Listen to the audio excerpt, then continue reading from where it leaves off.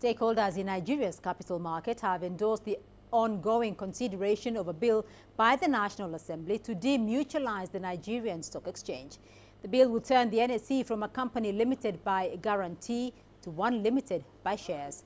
The stakeholders reached this decision after a public hearing jointly organized by the Senate and the House of Representatives committees on the capital market.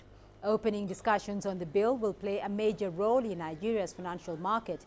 Its conversion and re-registration into a public company limited by shares is essential to strengthening the capital market. In addition, the move will likely enhance the formation of capital for the expansion of the Nigerian economy.